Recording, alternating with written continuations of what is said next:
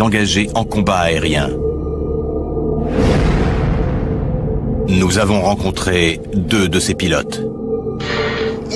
S'il approche à moins de 10 km de moi, je m'éjecte. Il s'attendait à ce que l'objet explose, mais ça n'a pas eu lieu. Engager un ovni en vol pendant une vingtaine de minutes, c'est une sacrée expérience. En 1976, un objet non identifié est repéré dans le ciel de Téhéran. Un F-4 reçoit aussitôt pour mission de le détruire. Il est passé de là à là, comme ça. En 1980, un chasseur péruvien ouvre le feu sur un objet de nature inconnue ayant pénétré dans l'espace militaire aérien. Alors j'ai reçu l'ordre de décoller et d'abattre l'objet. Les ovnis, avec leur manœuvrabilité et leur capacité, rendent-ils obsolètes nos appareils Le caméraman à la gerbe. Le sac. Avec l'aide de deux anciens pilotes de chasse, notre équipe a reconstitué au-dessus du Pacifique deux des combats aériens les plus impressionnants ayant impliqué des ovnis. J'ai jamais vu un truc pareil. Voici l'affaire numéro 76102 des ovnis dans la ligne de mire. Les ovnis s'en tirent toujours.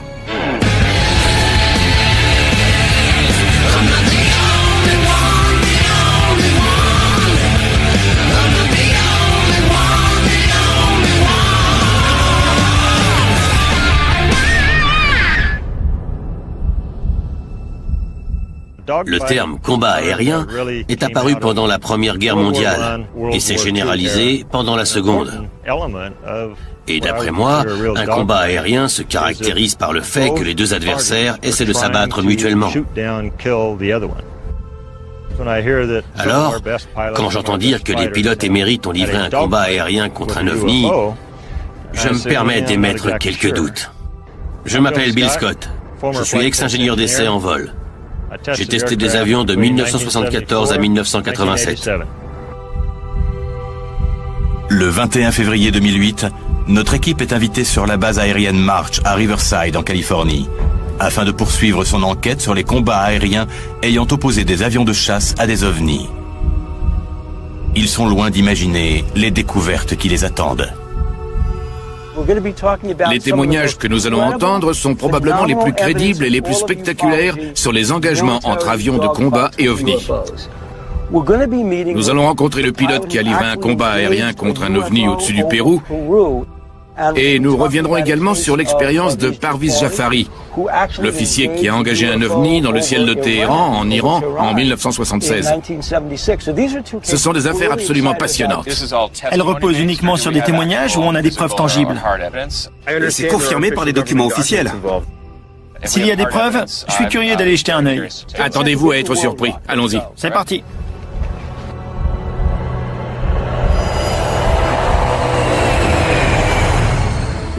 L'histoire de Parviz Jafari, pilote de chasse de l'armée iranienne, est sans doute l'une des plus incroyables que vous ayez jamais entendues.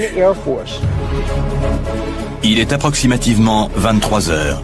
Nous sommes le 18 septembre 1976. Les habitants de Téhéran sont pris de panique. Une sphère lumineuse décrit des cercles au-dessus de la ville. Il ne s'agit pas d'un hélicoptère, ni des avions de chasse ou de ligne qui fréquentent habituellement le ciel iranien. À cette époque, l'Iran est l'un des principaux alliés des États-Unis au Moyen-Orient. Trois ans nous séparent encore de la révolution islamique qui placera au pouvoir l'ayatollah Khomeini. L'Iran étant un pays frontalier de l'Union soviétique, l'armée américaine lui fournit des chasseurs F-4 fantômes dernier cri et assure la formation de ses pilotes. Jafari volait sur un F-4E. À l'époque, c'était probablement l'avion le plus performant en combat aérien. Ces images inédites à la télévision sont issues d'un film iranien consacré à cette étrange confrontation. Certains des militaires impliqués dans cette affaire y jouent leur propre rôle, dont Parviz Jafari lui-même. Et les répliques sont celles enregistrées à la tour de contrôle le soir même. Vous voyez un objet à quatre hélices dans le ciel? La tour de contrôle de l'aéroport de Mehrabad enregistre une multitude d'appels signalant la présence de cet ovni. Il ne s'agit ni d'un avion militaire, ni d'un avion civil. C'est au nord-est de Téhéran. Hossein Pirouzi est contrôleur aérien. Il est de service ce soir-là. Saïd appelle, il décide d'avertir l'armée de l'air. Vous êtes l'officier de service? De nombreuses personnes disent avoir vu un objet lumineux. À 23h31, un F-4 décolle de la base aérienne de Cherokee, située à Hamedan, à 280 km au sud-ouest de Téhéran. Un premier pilote, le capitaine Aziz Khané, a pour mission d'identifier l'objet. Dix minutes plus tard, la base ordonne le décollage d'un second chasseur.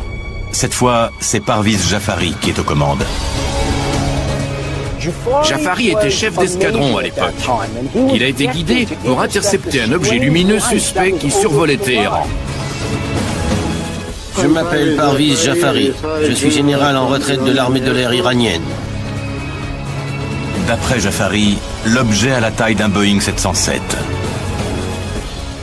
Jafari suivait la lumière en direction de la frontière russe quand tout à coup, un objet a surgi de la lumière et s'est dirigé tout droit vers son avion.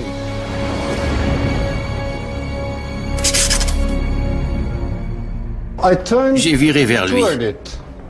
Je l'ai mis dans mes 12 heures et je me suis rapproché de lui. Et difficile à croire, d'un seul coup, il est passé de là à là. Comme ça.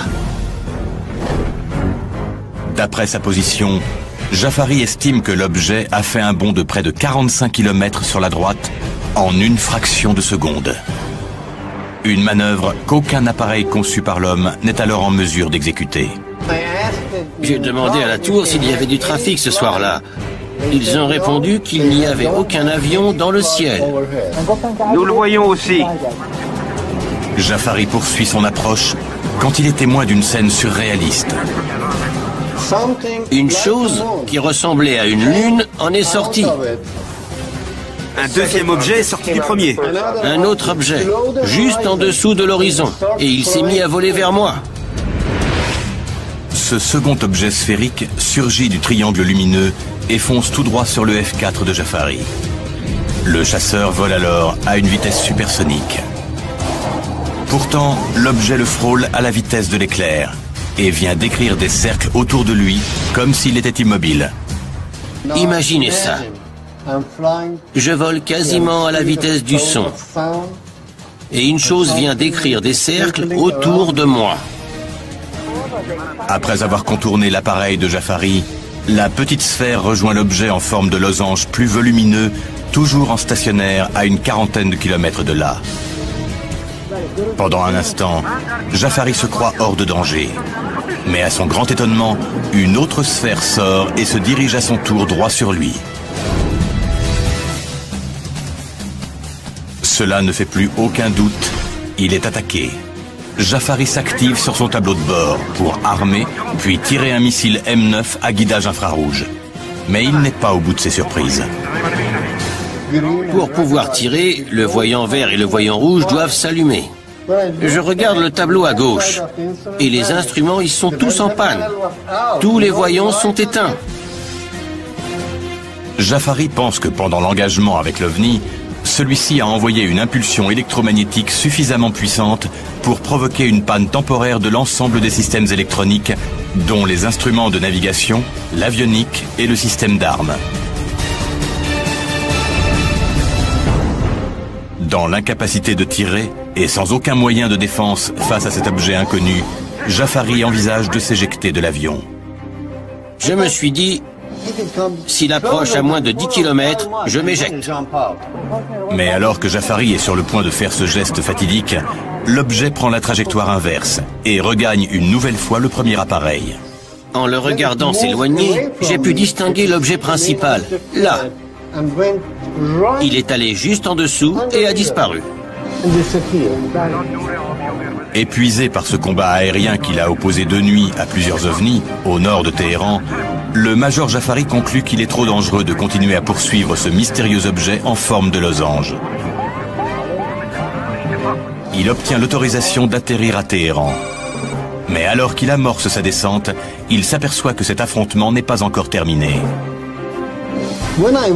Pendant ma descente, une autre sphère Ma prise en chasse. En revenant vers la base de Merabad, il constate qu'un autre objet est à ses trousses. Dans la dernière phase de son approche, il jette un regard par-dessus son épaule et voit l'objet atterrir dans le désert. Je distinguais parfaitement bien le sable. L'objet était tellement lumineux. Jafari reçoit un contre-ordre. Il est chargé d'aller identifier l'objet qui se serait posé non loin de la base. Plusieurs témoins oculaires parmi les militaires et les civils confirment avoir vu l'objet se cracher aux abords de Shemiran. Il fonçait droit vers le sol, à une vitesse telle que j'étais persuadé de voir une gigantesque explosion. Mais ça n'a pas eu lieu. L'objet a terminé sa descente et s'est posé en douceur. Lorsqu'il atterrit enfin à Merabad, Parviz Jafari sait qu'il devra rendre compte à son commandement des événements de la nuit. Il ignore en revanche que l'armée iranienne n'est pas la seule que son rapport intéressera. Quelqu'un du gouvernement américain m'écoutait, tout en prenant des notes. Quel rôle la CIA a-t-elle joué dans cette affaire et sa dissimulation? Quand Jafari a atterri, des agents de la CIA et un colonel de l'armée de l'air l'attendaient pour le débriefer. Pour la toute première fois à la télévision, voici le rapport militaire officiel déclassifié relatant cette affaire. Pourquoi ce document a-t-il atterri directement à la Maison Blanche Et qu'a-t-on trouvé le lendemain sur le site du crash?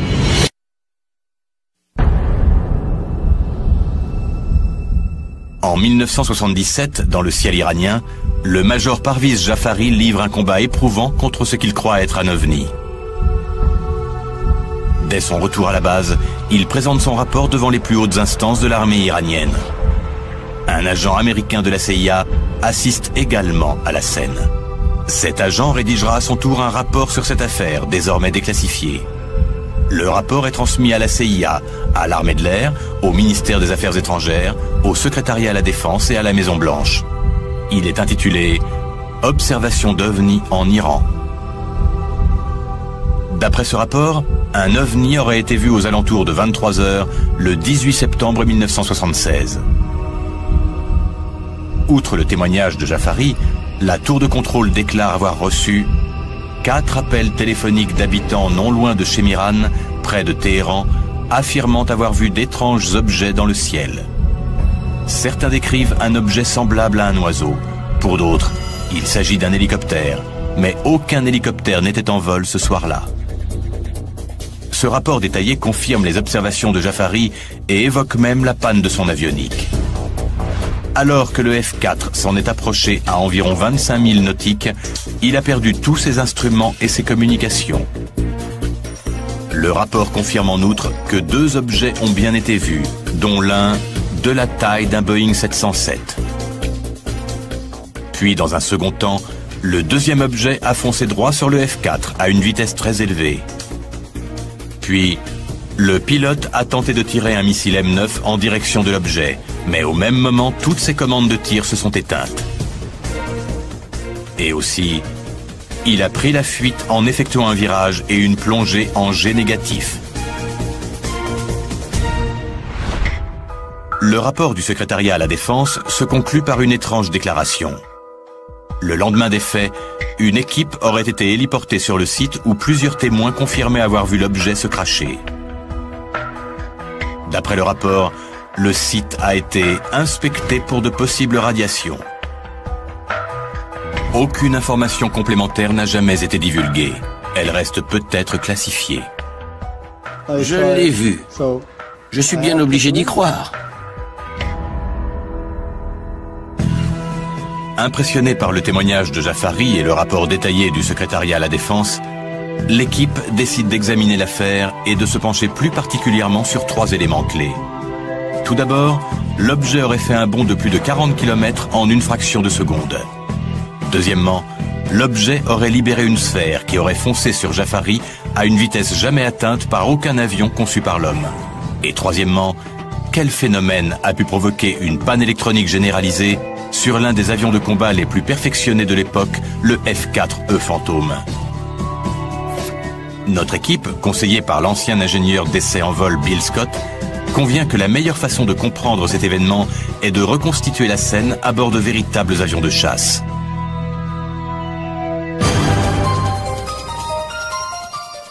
Nos experts se dirigent donc vers la base Air Combat USA, dans le comté d'Orange, en Californie, le meilleur escadron de combat aérien de toute l'Amérique. Ils ont fait appel à quatre anciens pilotes de chasse, forts de plusieurs années d'expérience dans l'armée de l'air. Ben Clerks, ancien de l'Air Force. Michael von Wittenghoff, surnommé le Baron. J'ai été capitaine dans l'armée de l'air allemande. Vous volerez sur des Marchetti SF-260, des avions d'attaque légers, capables de larguer des bombes, de tirer des missiles et d'embarquer des mitrailleuses. C'est un avion de catégorie plus 6G, moins 3G. Il atteint 450 km h et réagit exactement comme un avion d'attaque léger. Voilà la donne. Après concertation, les pilotes et Bill Scott estiment qu'en reconstituant la scène à une échelle de 25%, ils obtiendront des résultats plus concluants avec ce type d'avion. Ils voleront donc à 25% de la vitesse initiale et parcourront 25% de la distance d'origine. Nous avons choisi de reconstituer ce combat à bord d'avions ordinaires car cela permettra aux gens de se faire une idée plus concrète de la vitesse à laquelle ces événements ont pu se produire. Effectivement, puisqu'il s'agit d'un modèle d'avion différent, il y a des figures que nous ne pourrons pas effectuer, mais je pense que ce sera très éloquent. Aujourd'hui, nous allons reconstituer les événements. On sortira donc à deux avions et l'un d'entre nous jouera le rôle de l'OVNI. On garde une distance de sécurité de 150 mètres. Et nous aurons des parachutes en cas d'urgence. On crie éjection, éjection, éjection. Et on largue la verrière. Allez en piste. C'est parti. Allez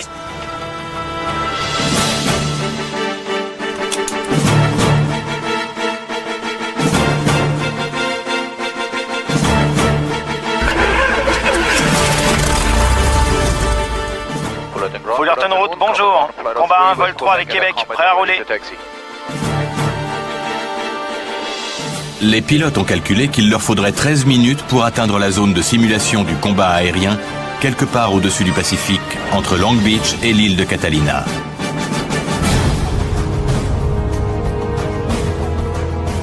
Le combat va commencer. L'équipe va tenter de vérifier la première donnée intrigante de cette affaire. L'OVNI aurait parcouru plusieurs kilomètres en une fraction de seconde. Ted et le baron, dans le rôle de l'OVNI, amorcent un virage exagérément serré à plein régime. Il est passé de là à là, comme ça. Bill Scott et le Joker, qui volent à une vitesse réduite, tentent de le suivre. Bien sûr, la première simulation consiste à poursuivre la cible dans un virage à droite. La cible doit effectuer un virage de 10 degrés extrêmement rapide. Le baron part en tête. Ok Bill, cible en vue à 9h30, 10h. Il vient de virer à 10h30, en une fraction de seconde. Exact. Il a viré de 10 degrés en un éclair. C'est clair. Je l'ai en visu à 11h. Je l'ai aussi. Je vire aussi pour essayer de le rattraper. Chaque fois qu'on se rapproche, il vire à nouveau de 10 degrés et nous met 40 km dans la vue. Un saut de 5 km en une seconde. C'est impressionnant. Il accélère instantanément. Il vire de 10 degrés en quelques secondes à peine. Je l'ai à 11 heures. Même à échelle réduite, l'avion de Ted et du baron effectue des manœuvres que le Joker et Bill sont incapables de suivre. Imaginez le même scénario avec deux avions volant à plus de 1600 km/h. J'ai jamais vu un truc pareil. La deuxième simulation a pour but de démontrer la vitesse incroyable à laquelle se déplaçait le deuxième objet lorsqu'il a foncé en direction du F-4 fantôme de Jafari. Bien que les performances des monomoteurs Marchetti soient très nettement inférieures à celles du F4 Phantom, elles suffiront néanmoins à illustrer la sensation de vitesse et de proximité que Jafari a éprouvée lorsque le second ovni s'est mis à décrire des cercles autour de son chasseur supersonique. On vérifie que tout est en ordre et le baron peut refaire un passage. Le baron est lancé. Bien reçu. On n'a pas vraiment le droit à l'erreur là. Voilà ce que l'on distingue lorsque deux objets volant à 250 km heure se croisent en sens inverse à une distance de 150 mètres. Une vague forme floue. Imaginez la même scène de nuit, sachant que Jafari et l'OVNI volent l'un vers l'autre à une vitesse combinée de plus de 3000 km heure. L'équipe répète la manœuvre, mais cette fois encore plus vite et en s'approchant encore plus près.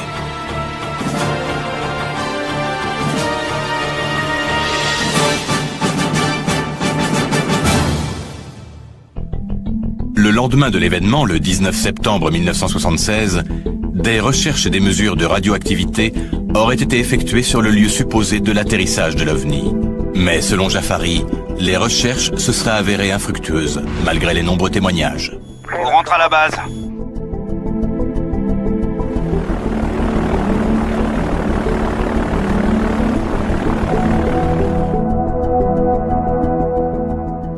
Alors, quel effet ça fait Vous avez foncé l'un vers l'autre à combien 250 km heure C'est ça.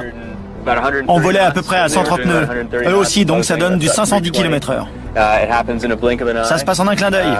On aperçoit une petite tache noire au loin et quelques secondes plus tard, elle est passée derrière nous à près de 500 km heure.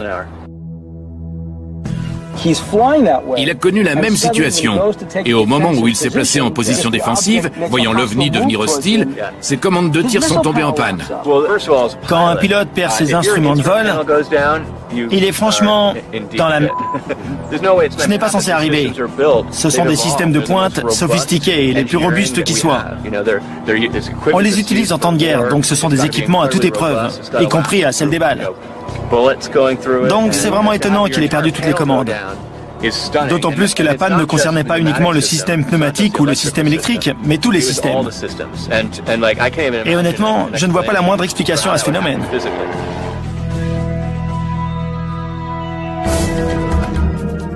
Le plus grand mystère de cette affaire n'a toujours pas été élucidé. Jafari a bel et bien perdu ses instruments de vol et ses commandes de tir suite à une anomalie électrique. On sait avec certitude qu'un problème a affecté les commandes et le système de tir. L'OVNI est-il à l'origine de cette panne? L'équipe va tenter de vérifier la théorie de Jafari.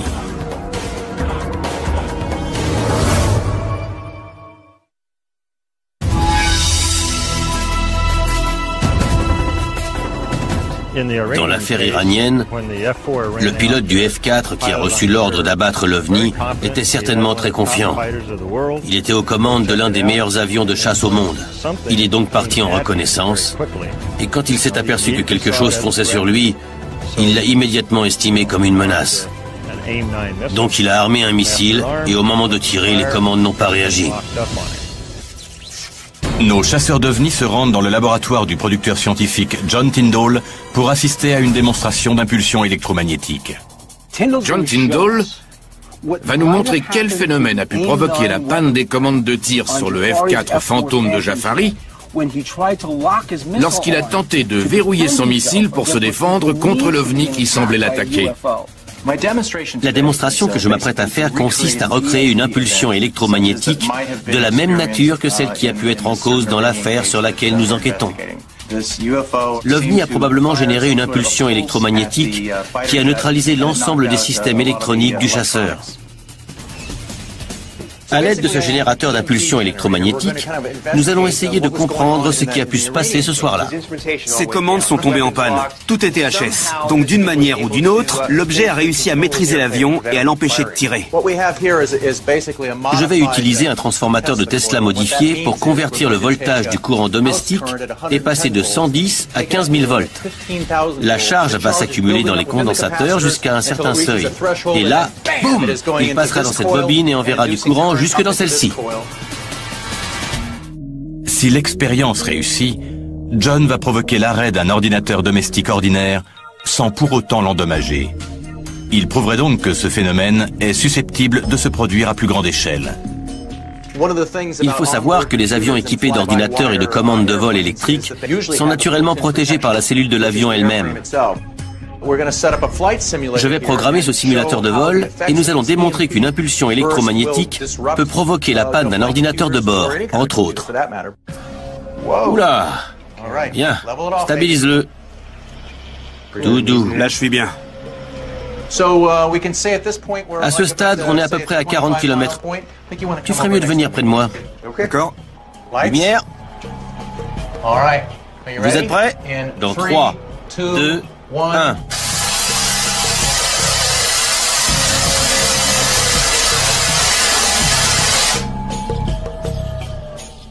Sous l'effet d'une décharge de 15 000 volts de courant à faible ampérage, l'ordinateur s'est éteint. Mais pourra-t-il redémarrer après un tel choc? Il s'est éteint. Jeff, regarde si tu peux le remettre en marche. C'est parti. Regarde. A priori, l'ordi réagit. Exact, il est revenu à lui. L'unité centrale n'a pas rendu l'âme. Tout comme les commandes de Jafari, l'ordinateur a recommencé à fonctionner normalement sitôt l'impulsion terminée. John, tu viens de démontrer que l'on pouvait désactiver un ordinateur en utilisant un faisceau d'électrons ou autre, comme celui tiré par cet ovni pour neutraliser les commandes de bord de Jafari cette nuit de 1976. S'il est bien question d'extraterrestres, il est probable qu'ils possèdent des moyens technologiques largement supérieurs à ceux que nous avons dans ce labo. Bien que l'expérience ait réussi, on ignore malgré tout si cela reste viable à grande échelle. Nous avons mené cette expérience à moins d'un mètre de distance. Mais il faudrait une puissance faramineuse pour la reproduire à une distance de 40 km. D'autant plus que pour endommager les circuits, le faisceau doit pénétrer dans la cellule métallique de l'avion. Bien qu'il y ait eu des témoins de cette mystérieuse rencontre et malgré l'existence de preuves attestant que l'armée iranienne s'est intéressée aux phénomènes extraterrestres, une véritable chape de plomb va s'abattre sur la société iranienne avec la révolution qui surviendra dans le pays trois ans plus tard. L'Occident n'aura plus jamais vent d'éventuelles apparitions d'OVNI. Je n'avais jamais rien vu de semblable auparavant. Et au fil du temps, j'ai acquis la certitude, partagée d'ailleurs, qu'il s'agissait bien d'un objet volant non identifié, un ovni. À l'issue des expériences menées pour vérifier les trois éléments clés du témoignage de Jafari, l'équipe doute qu'un aéronef conçu par l'homme ait pu effectuer les manœuvres décrites par Jafari cette nuit-là. Et si la panne subite des ordinateurs de bord peut s'expliquer par la production d'une intense impulsion électromagnétique, le mystère reste entier. Or, quatre ans plus tard, un combat aérien similaire et plus impressionnant encore se produit dans le ciel du Pérou. Mais cette fois, le pilote est en mesure de faire feu.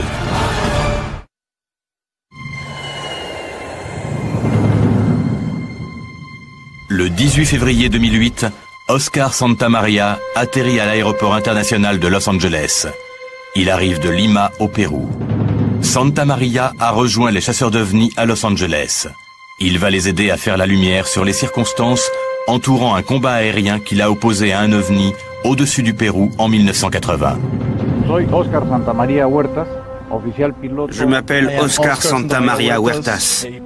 J'étais pilote dans l'armée de l'air péruvienne et je suis actuellement à la retraite. Le 11 avril Le 11 avril 1980, à 7h15 du matin, sur la base aérienne de La Hoya, au Pérou,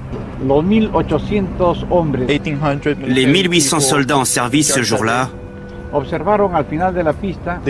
aperçu au bout de la piste de décollage un objet qui ressemblait à un ballon et qui n'avait pas été autorisé à pénétrer dans l'espace aérien. Nous avons tous pensé qu'il s'agissait d'un espion. Mon commandement m'a aussitôt donné l'ordre de décoller et d'abattre l'objet. Santa Maria décharge 64 buts sur la cible avec ses canons de 30 mm. Mais à son grand étonnement, les balles semblent passer à travers l'objet. Elles auraient détruit n'importe quoi, y compris un ballon météorologique. Il s'attendait à ce que l'objet explose. Mais ça n'a pas été le cas et l'objet a commencé à prendre de l'altitude. Il s'est alors lancé à sa poursuite. Tandis qu'il le prend en chasse, Santa Maria remarque le comportement étrange de l'objet. Chaque fois que le pilote parvient à porter, l'objet prend encore de l'altitude en effectuant des manœuvres dignes de Top Gun. Pourtant, la partie la plus fascinante de cette aventure est encore à venir. Et elle implique l'armée américaine. J'ai rencontré Oscar Santamaria, j'ai écouté son témoignage, et j'avoue que je ne vois pas pourquoi cet officier de l'armée de l'air raconterait une histoire pareille, à moins qu'il n'ait été profondément marqué par cette expérience. Je crois qu'il a vu quelque chose qui l'a bouleversé et dont il ne s'est toujours pas remis. Étant donné la complexité et le caractère surréaliste de cette aventure, Oscar Santamaria s'est toujours heurté au scepticisme de ceux qui refusaient de croire que l'objet, comme l'avion, avait pu effectuer de telles manœuvres au cours de ce combat aérien qui, d'après lui, l'opposait bel et bien à un ovni. L'équipe souhaite déterminer si l'ovni en question était en effet nettement plus performant que tous les avions existants à l'époque. Dans l'impossibilité de réquisitionner un Sukhoi 22, ils embarqueront à bord de son équivalent le plus proche. Ils retournent donc sur la base d'Air Combat USA pour examiner cette affaire dans les airs. L'équipe a relevé ici trois éléments particulièrement pertinents dont elle va tenter de vérifier la plausibilité. Le fait que Santa Maria ait verrouillé l'OVNI et lui ait tiré dessus sans effet notable fait forte impression au sein de l'équipe mais il serait délicat de reproduire l'expérience. Cependant, deux autres manœuvres peuvent être reproduites avec précision. Tout d'abord, l'OVNI s'est littéralement immobilisé dans les airs. Deuxièmement, alors qu'il stationnait, l'objet a soudainement pris de l'altitude à une vitesse fulgurante.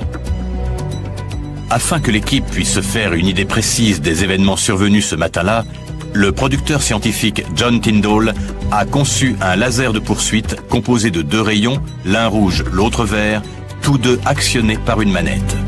Le laser vert est destiné à tracer la trajectoire de l'OVNI. Le laser rouge va décrire la trajectoire de l'avion de chasse.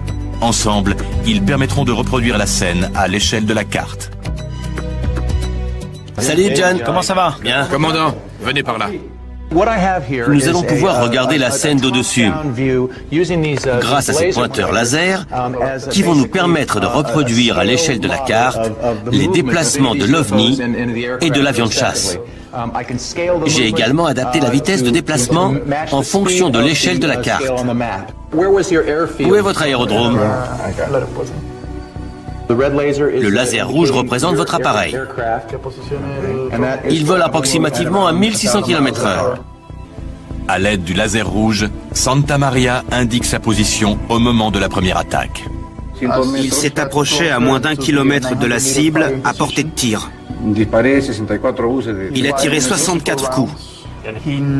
Et il sait qu'il a touché l'objet, mais sans effet. L'objet n'a pas explosé. L'objet a pris la fuite à grande vitesse. Il s'est enfui tout en prenant de l'altitude.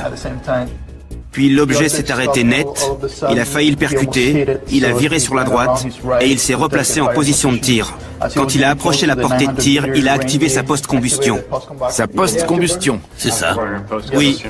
Et d'un seul coup, l'objet s'est remis à grimper. Voici l'un des faits les plus fascinants de ce récit. Alors que le pilote vient d'enclencher sa post-combustion, l'OVNI grimpe de plus belle et le distance à nouveau. Santa Maria s'élance à son tour.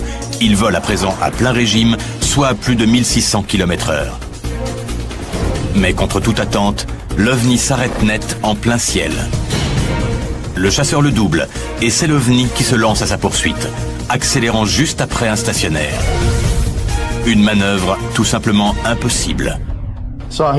Il volait donc à une vitesse supersonique quand il a doublé l'objet. L'objet grimpait à côté de lui.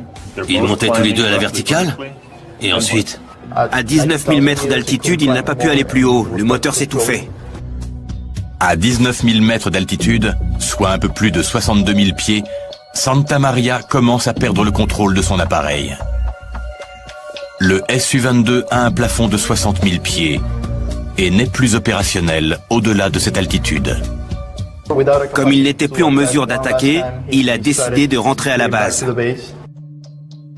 Après avoir pris connaissance du plan de vol et des manœuvres qui les attendent, le Baron, le Joker, Ted et Bill Scott sont prêts à décoller pour reconstituer cette étrange bataille en plein ciel. Aux quatre coins de la planète, des pilotes de combat affirment avoir vu des ovnis. Certains d'entre eux ont même été amenés à les engager en combat aérien. Nous avons rencontré deux de ces pilotes. S'il approche à moins de 10 km de moi, je m'éjecte. Il s'attendait à ce que l'objet explose, mais ça n'a pas eu lieu. Engager un ovni en vol pendant une vingtaine de minutes, c'est une sacrée expérience. En 1976, un objet non identifié est repéré dans le ciel de Téhéran.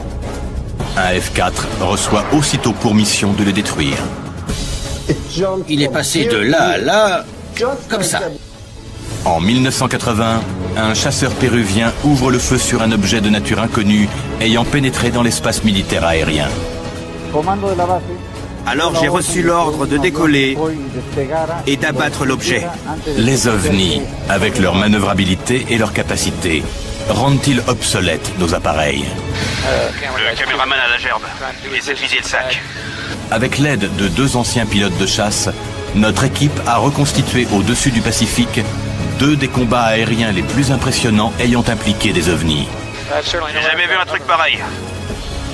Voici l'affaire numéro 76102 des ovnis dans la ligne de mire. Les ovnis s'en tirent toujours.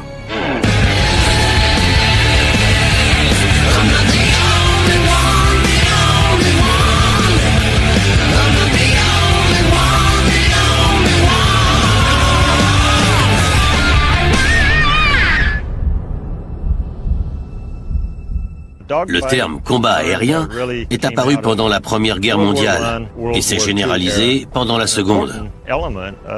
Et d'après moi, un combat aérien se caractérise par le fait que les deux adversaires essaient de s'abattre mutuellement. Alors, quand j'entends dire que les pilotes émérites ont livré un combat aérien contre un ovni, je me permets d'émettre quelques doutes. Je m'appelle Bill Scott. Je suis ex-ingénieur d'essai en vol. J'ai testé des avions de 1974 à 1987. Le 21 février 2008, notre équipe est invitée sur la base aérienne March à Riverside en Californie, afin de poursuivre son enquête sur les combats aériens ayant opposé des avions de chasse à des ovnis. Ils sont loin d'imaginer les découvertes qui les attendent. Les témoignages que nous allons entendre sont probablement les plus crédibles et les plus spectaculaires sur les engagements entre avions de combat et ovnis.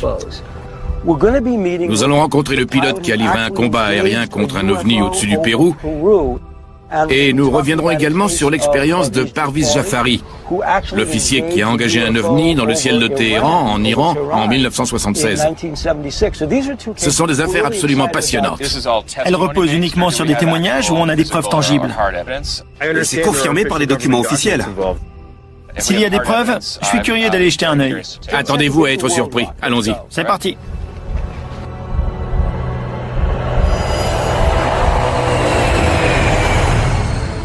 L'histoire de Parviz Jafari, pilote de chasse de l'armée iranienne, est sans doute l'une des plus incroyables que vous ayez jamais entendues. Il est approximativement 23 heures. Nous sommes le 18 septembre 1976. Les habitants de Téhéran sont pris de panique. Une sphère lumineuse décrit des cercles au-dessus de la ville. Il ne s'agit pas d'un hélicoptère, ni des avions de chasse ou de ligne qui fréquentent habituellement le ciel iranien. À cette époque, l'Iran est l'un des principaux alliés des États-Unis au Moyen-Orient. Trois ans nous séparent encore de la révolution islamique qui placera au pouvoir l'ayatollah Khomeini. L'Iran étant un pays frontalier de l'Union soviétique, l'armée américaine lui fournit des chasseurs F-4 fantômes dernier cri et assure la formation de ses pilotes. Jafari volait sur un F-4E. À l'époque, c'était probablement l'avion le plus performant en combat aérien. Ces images inédites à la télévision sont issues d'un film iranien consacré à cette étrange confrontation. Certains des militaires impliqués dans cette affaire y jouent leur propre rôle, dont Parviz Jafari lui-même. Et les répliques sont celles enregistrées à la tour de contrôle le soir même. Vous voyez un objet à quatre hélices dans le ciel? La tour de contrôle de l'aéroport de Mehrabad enregistre une multitude d'appels signalant la présence de cet ovni. Il ne s'agit ni d'un avion militaire, ni d'un avion civil. C'est au nord-est de Téhéran. Hossein Pirouzi est contrôleur aérien. Il est de service ce soir-là. Assailli d'appels, il décide d'avertir l'armée de l'air. Vous êtes l'officier de service? De nombreuses personnes disent avoir vu un objet lumineux. À 23h31, un F-4 décolle de la base aérienne de Charoki, située à Hamedan, à 280 km au sud-ouest de Téhéran. Un premier pilote, le capitaine Aziz Khaneh, a pour mission d'identifier l'objet. Dix minutes plus tard, la base ordonne le décollage d'un second chasseur. Cette fois, c'est Parviz Jafari qui est aux commandes. Jafari était chef d'escadron à l'époque. Il a été guidé pour intercepter un objet lumineux suspect qui survolait Téhéran. Je m'appelle Parviz Jafari. Je suis général en retraite de l'armée de l'air iranienne. D'après Jafari, l'objet a la taille d'un Boeing 707. Jafari suivait la lumière en direction de la frontière russe quand tout à coup, un objet a surgi de la lumière et s'est dirigé tout droit vers son avion.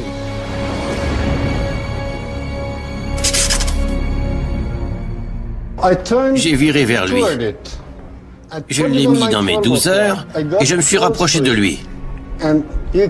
Et difficile à croire, d'un seul coup, il est passé de là à là. Comme ça.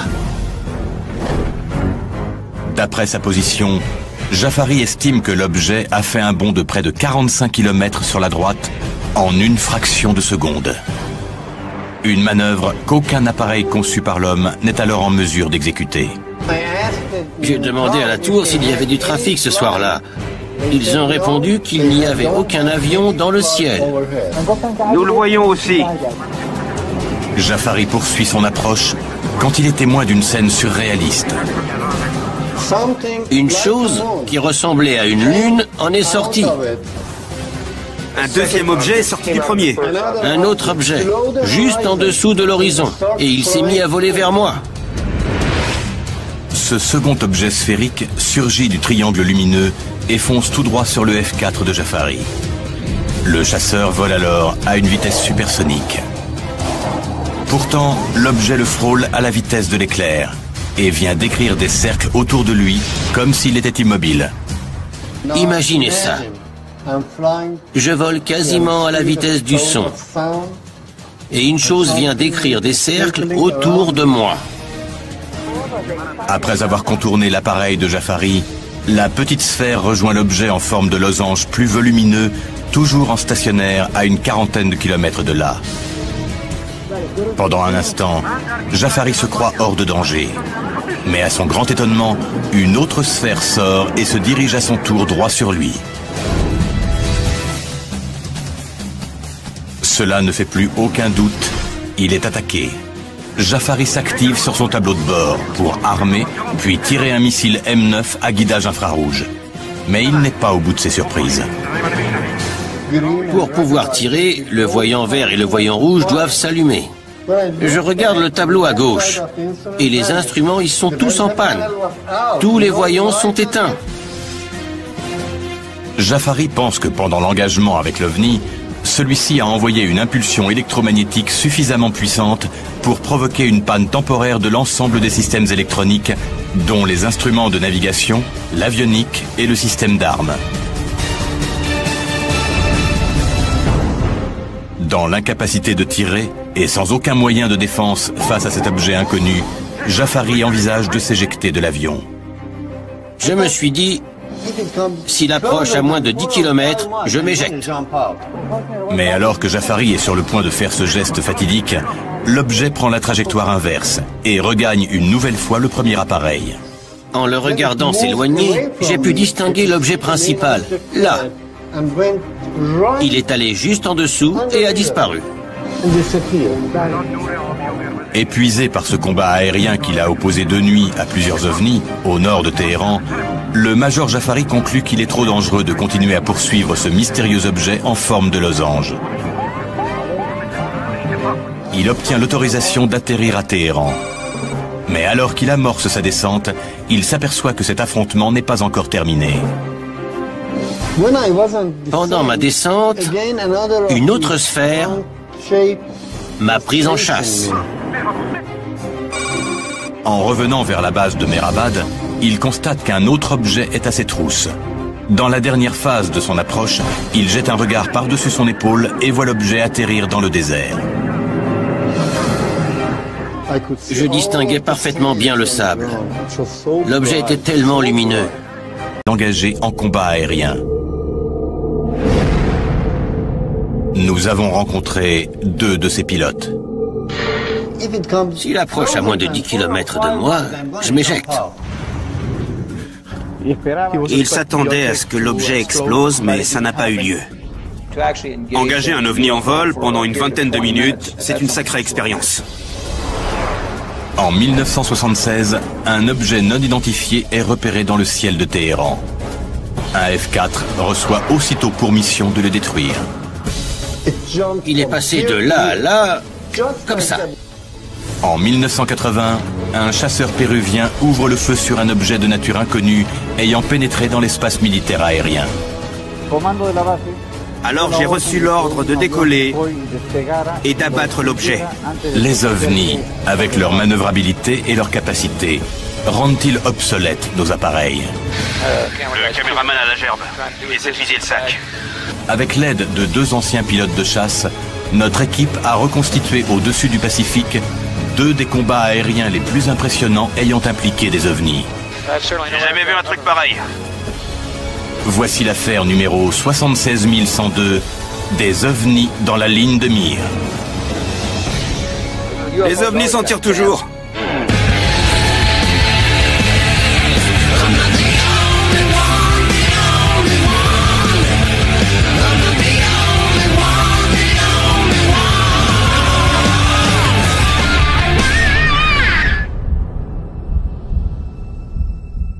Le terme combat aérien est apparu pendant la Première Guerre mondiale et s'est généralisé pendant la Seconde.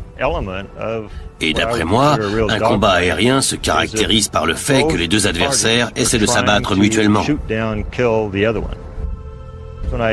Alors, quand j'entends dire que les pilotes émérites ont livré un combat aérien contre un ovni, je me permets d'émettre quelques doutes. Je m'appelle Bill Scott. Je suis ex-ingénieur d'essai en vol. J'ai testé des avions de 1974 à 1987. Le 21 février 2008, notre équipe est invitée sur la base aérienne March à Riverside en Californie, afin de poursuivre son enquête sur les combats aériens ayant opposé des avions de chasse à des ovnis. Ils sont loin d'imaginer les découvertes qui les attendent. Les témoignages que nous allons entendre sont probablement les plus crédibles et les plus spectaculaires sur les engagements entre avions de combat et ovnis. Nous allons rencontrer le pilote qui a livré un combat aérien contre un ovni au-dessus du Pérou et nous reviendrons également sur l'expérience de Parviz Jafari, l'officier qui a engagé un ovni dans le ciel de Téhéran, en Iran, en 1976. Ce sont des affaires absolument passionnantes. Elles reposent uniquement sur des témoignages ou on a des preuves tangibles C'est confirmé par des documents officiels.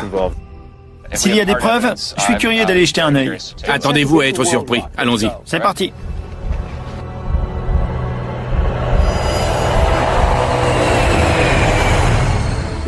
L'histoire de Parviz Jafari, pilote de chasse de l'armée iranienne, est sans doute l'une des plus incroyables que vous ayez jamais entendues. Il est approximativement 23 heures. Nous sommes le 18 septembre 1976. Les habitants de Téhéran sont pris de panique.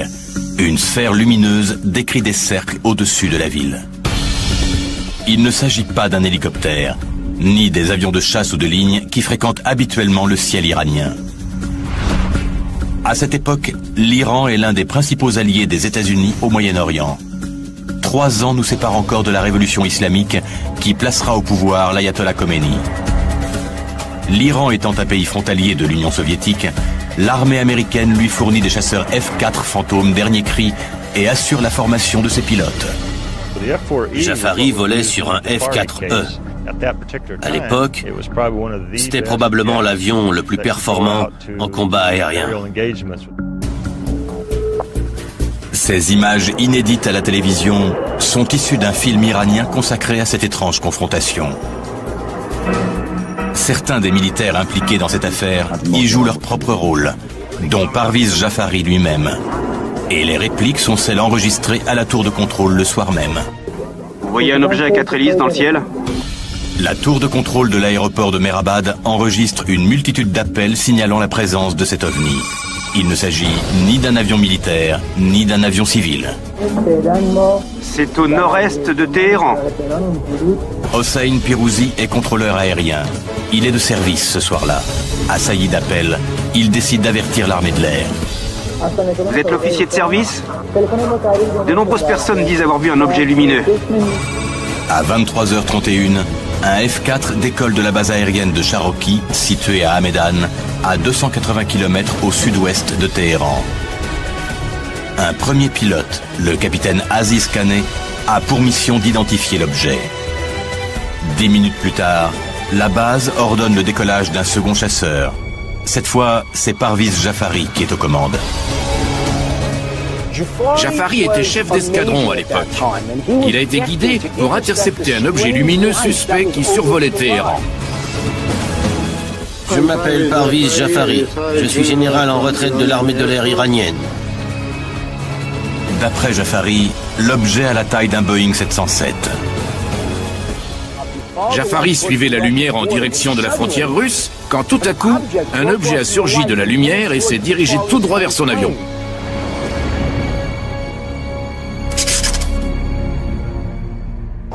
J'ai viré vers lui. Je l'ai mis dans mes 12 heures et je me suis rapproché de lui. Et difficile à croire, d'un seul coup, il est passé de là à là. Comme ça. D'après sa position, Jafari estime que l'objet a fait un bond de près de 45 km sur la droite en une fraction de seconde. Une manœuvre qu'aucun appareil conçu par l'homme n'est alors en mesure d'exécuter. J'ai demandé à la tour s'il y avait du trafic ce soir-là. Ils ont répondu qu'il n'y avait aucun avion dans le ciel. Nous le voyons aussi. Jafari poursuit son approche quand il est témoin d'une scène surréaliste. Une chose qui ressemblait à une lune en est sortie. Un deuxième objet est sorti du premier. Un autre objet, juste en dessous de l'horizon. Et il s'est mis à voler vers moi. Ce second objet sphérique surgit du triangle lumineux et fonce tout droit sur le F4 de Jafari. Le chasseur vole alors à une vitesse supersonique. Pourtant, l'objet le frôle à la vitesse de l'éclair et vient décrire des cercles autour de lui comme s'il était immobile. Imaginez ça. Je vole quasiment à la vitesse du son. Et une chose vient décrire des cercles autour de moi. Après avoir contourné l'appareil de Jafari, la petite sphère rejoint l'objet en forme de losange plus volumineux, toujours en stationnaire à une quarantaine de kilomètres de là. Pendant un instant, Jafari se croit hors de danger. Mais à son grand étonnement, une autre sphère sort et se dirige à son tour droit sur lui.